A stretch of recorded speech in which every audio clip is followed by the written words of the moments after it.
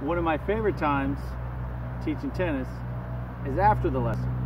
Usually it's late at night and the men finish their lesson and the men are great. They usually try to fix all the world's problems and um, oftentimes we discuss sports. So usually they crack open their favorite cold beer and I crack open the world's healthiest energy drink.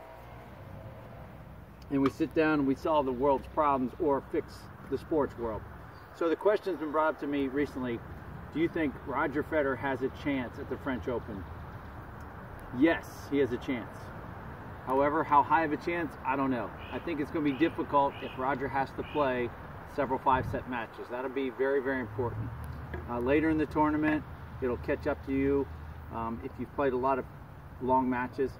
If he gets through the first couple rounds, I say the first three rounds with only dropping a set here and there, and only plays a couple four setters.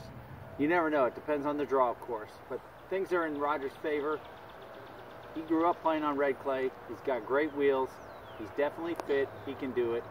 I don't know if he's going to sit in the baseline and try to grind like Nadal and Djokovic will try to do, which I think will be a mistake, by the way. Uh, Roger comes forward better than both of those players, and I look for him to cut off the points earlier. He might even do the SABR, the sneak attack by Roger on the return of serve. So does he have a chance to win the French?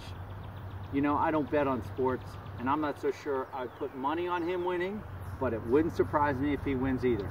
Okay? He's not the greatest of all time. For now, I don't know, there's another discussion. We might have to take that to the bar and finish that discussion later. But right now, I'm not betting against Roger ever. Have a great day.